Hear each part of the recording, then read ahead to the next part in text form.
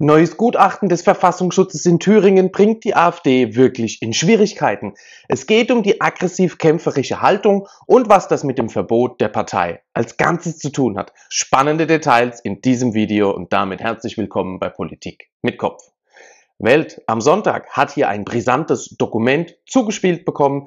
Es geht um eine Einschätzung des Landesamtes für Verfassungsschutz aus Thüringen, was gesendet wurde an das Landesinnenministerium in Thüringen, was die kämpferisch-aggressive Grundhaltung der AfD in Thüringen angeht. Und wie ihr wisst, ist das eines der letzten Puzzlesteine, was am Ende fehlt für ein Verbotsverfahren. Es ist wirklich spannend, warum sie jetzt dann hier zwei Monate vor der Landtagswahl damit um die Ecke kommen. Ihr denkt, es geht um die Wahl. Ja, zum einen geht es vielleicht um die Wahl, zum anderen geht es hier um einen Rechtsstreit. Und zwar, ihr habt euch doch noch daran erinnert, oder ihr erinnert euch bestimmt daran, dass sie versucht haben, allen Mitgliedern in Thüringen die Waffenscheine zu entziehen. Das haben sich natürlich nicht alle gefallen lassen und so gibt es hier jemanden, der geklagt hat gegen diese Entscheidung und Recht bekommen hat. Das Gericht hatte damals bemängelt, es fehle an der Einstufung der kämpferisch-aggressiven Grundhaltung aller Parteimitglieder. Das holt man jetzt quasi nach. Allerdings ist es ja in Thüringen inzwischen bezeichnend.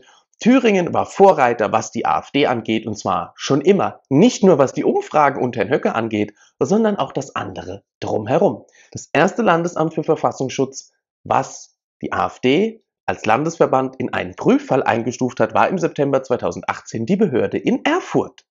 Ebenfalls die Premiere hatte der dortige Verfassungsschutz 2021, als sie die Partei als ersten Ableger als erwiesen rechtsextremistisch eingestuft haben. Sie haben hier quasi einen kleinen Volkssport initiiert, dass sie immer das erste Verfassungsschutzamt ist, was nach vorne geht. Und jetzt geht es hier um die aggressiv-kämpferische Haltung. Das ist wirklich bemerkenswert. Welt am Sonntag liegt das brisante Dokument vor.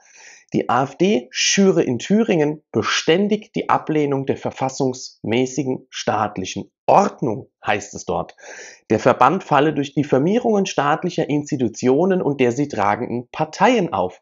Die AfD schüre die Auffassung, dass die Ursache für Missstände im Wesen des demokratischen Rechtsstaats liege.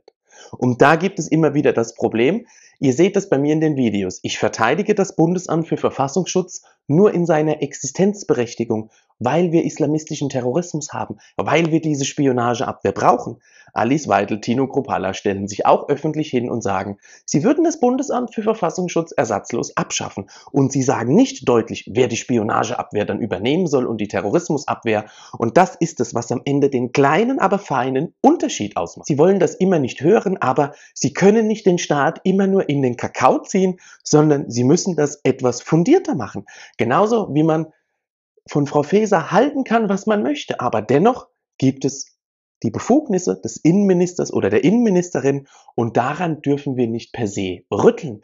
Auch die Justiz. Es wird dann immer auf eine Zweiklassenjustiz abgestellt und da kann man nur sagen, selbst wenn das subjektiv die Wahrnehmung ist, ist es dann die Aufgabe, als Forderung die Änderung der Strafgesetzgebung zu fordern und nicht irgendwie die Säuberung der Gerichte und lauter so Sachen. Das braucht überhaupt kein Mensch. Wenn die Richter so eng strukturiert sind dann in ihren Strafmaßen nicht so groß wie jetzt, dann werden sie auch andere Urteile fällen. Es gibt dann ebenfalls die Behauptung, Deutschland werde von fremden Mächten kontrolliert, die das deutsche Volk zerstören wollen. Und sie propagieren einen gewaltanwendenden Kampf als letztes legitimes Mittel der Befreiung vom Joch. So heißt es, Zitat in diesem Gutachten des Verfassungsschutzes aus Thüringen. Und weil es eben mal immer wieder darum geht, diese kämpferisch-aggressive Grundhaltung, da geht es vor allem auch um die schärfere Wortwahl. Das nehmen Sie nämlich dann her, auch in der Begründung, um ein Vereinsverbot zum Beispiel zu begründen. Und das Gutachten wird jetzt neuen Zündstoff bestimmt liefern für die Diskussion um das Verbot der AfD. Gerade vor dem Hintergrund, dass Marco Wanderwitz, ehemaliger Ostbeauftragter im letzten Merkel-Kabinett, auch dafür inzwischen genügend Unterschriften haben möchte, um diesen Antrag in Karlsruhe zu stellen. Interessant ist es dennoch, dass dieses Gutachten, äh, also der Inhalt dieses Gutachtens betrifft die Partei, die mit 29 Prozent deutlich stärkste Kraft ist aktuell in den Umfragen in Thüringen. Es geht am Ende um nichts weniger als um das Verbot der gesamten Partei. Das ist es nämlich, was sie vorhaben. Das ist es, was sie am liebsten machen würden, wenn denn ihre geheimdienstlich gesammelten Belege ausreichen.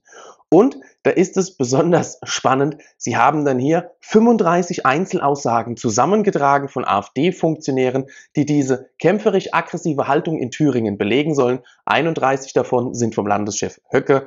Und ich weiß, ich mache mir damit keine Freunde, aber ihr vergesst immer alle eines in der Diskussion. Wo sind die V-Leute? Jetzt auch beim Kompaktverbot, ja? Kompakt wird verboten, alle schreien. Keiner stellt die Frage, wer waren die V-Leute für Frau Faeser? Die muss es ja offensichtlich gegeben haben, ja? Ich will jetzt niemanden hier beschuldigen, sonst kriege ich am Ende noch, die haben teure Anwälte, irgendwelche Unterlassungsansprüche, aber ihr müsst euch doch die Frage stellen. Sie machen das mit geheimdienstlichen Mitteln und dann wollen sie die V-Leute ja nicht offenlegen, ja? Und dann sieht man zum Beispiel bei Kompakt, oh, da waren aber einige Mitarbeiter früher bei der NPD. NPD, war da was? Ah, Geheimdienst, Bundesamt für Verfassungsschutz. Stimmt. Ha, Jetzt sind die bei der Kompakt aufgetaucht. Was ist da? Ah, Bundesamt für Verfassungsschutz. Hm. Wetten, die arbeiten dann auf einmal nächstes Jahr bei der AfD, bei einem Abgeordneten oder bei der Bundestagsfraktion. Und dann hat das Bundesamt für Verfassungsschutz einfach den wieder durchgeschleust. Wie gesagt, ich kann es niemandem beweisen, ich möchte es auch niemandem unterstellen, aber ihr müsst euch diese Frage immer stellen. Es gibt sie, die V-Leute des Bundesamtes für Verfassungsschutz, genauso wie sie im Landesverband Thüringen der AfD gibt, gibt es diese mit Sicherheit auch innerhalb der Mitarbeiterschaft der Kompakt Magazin GmbH, die jetzt verboten wurde, denn sonst wären sie gar nicht so nah rangekommen, um so viele interne Details zu erfahren. Aber das werden wir am Ende nie erfahren oder erst in 50 Jahren, wenn die Akten wieder aus dem Giftschrank kommen. Denn dass das Thema am Ende vor Gericht wird, kann ich mir kaum vorstellen. Das Oberverwaltungsgericht in Münster hat deutlich gemacht bei dem Urteil zur Einstufung der AfD, dass das mit den V-Leuten schon in Ordnung ist, wenn es nicht die Mehrheit betrifft. Das heißt, 50,1 Prozent der Dinge können von normalen Mitgliedern stammen, die anderen 49 Prozent, die füllen wir dann auf mit V-Leuten und dann ist alles immer noch in Ordnung. Es wird wirklich spannend, denn es gibt hier auch noch ein Zitat aus dem Buch von Herrn Höcke, das haben Sie natürlich auch wieder herausgekramt, das kommt öfters das Zitat. Darin geht es um die Strategie zur Rückeroberung Deutschlands. Dort heißt es Zitat, wenn alle Stricke reißen, ziehen wir uns in unsere ländlichen Refugien zurück und die neuen Römer, die in den verwahrlosten Städten residieren, können sich an den teutonischen Asterixen und Obelixen die Zähne ausbeißen. Die Retribalisierung wird aber zu einer neuen Keimzelle des Volkes werden, von der eine Rückeroberung ihren Ausgang nimmt. Ha! Also, es wird hier immer Dinge aus der Vergangenheit, Dinge aus der Gegenwart und so weiter, das wird alles immer vermischt und so weiter, aber ihr müsst euch immer die Frage stellen, wo sind die V-Leute vom Verfassungsschutz, die uns hier, also die immer Leute anschmieren, die irgendwelche Dinge irgendwo platzieren, damit man sie dann am Ende im Bericht erwähnen kann. Und das vergessen die Leute in der rechten Szene immer. Das Geschrei ist groß, oh nein, sie hat dies und das getan. Ja und? Habt ihr euch mal die Begründung durchgelesen? Ja, für euch ist das alles immer alles nur Hanebüchen. Wenn man aber weiß, wie Geheimdienste in diesem Land funktionieren, was im ersten NPD-Verbotsverfahren wichtig war, was im zweiten NPD-Verbotsverfahren wichtig war, dann weiß man ganz genau, dass Kompakt jahrelang auf Messers Schneide gelaufen ist und man sie jetzt eben runtergeholt hat mit einem Trick, der legal ist. Nochmal, alle Firmen in diesem Land sind Vereinigungen am Ende, aber andere Diskussion. Ich bin gespannt auf deine Meinung. Wie siehst du das Ganze hier? Das Interessanteste ist noch, dass auf Anfrage der Thüringer Verfassungsschutzwelt am Sonntag noch mitgeteilt hat, man sei mit der Prüfung dieser kämpferisch-aggressiven Haltung noch nicht am Ende. Deswegen würden diese Fragestellungen auch im Moment noch intern bewertet. Das heißt, Sie trauen sich damit noch nicht nach vorne. Sie warten bestimmt bis vier Wochen vor der Wahl. Aber du hast bestimmt eine ganz andere Meinung dazu. Schreib mir die bitte unbedingt unter dieses Video. Oder teilst du meine Meinung mit dieser Gefahr, dass jetzt die letzten Monate der AfD angebrochen sind oder die letzten Jahre. Sie wollen sie wirklich niedermachen, verbieten, anstatt dass sie gute Politik machen, denn dann würde die AfD von ganz alleine an Zuspruch verlieren.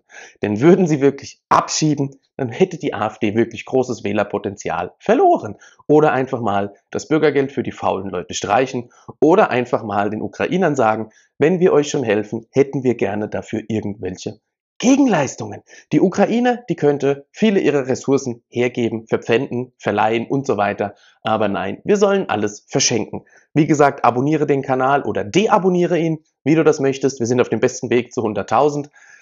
Lass einen Kommentar da. Ich habe auch X und Telegram für die unzensierten Bilder. Kannst hier mal reinschauen. Die Links sind unter dem Video und damit bis bald.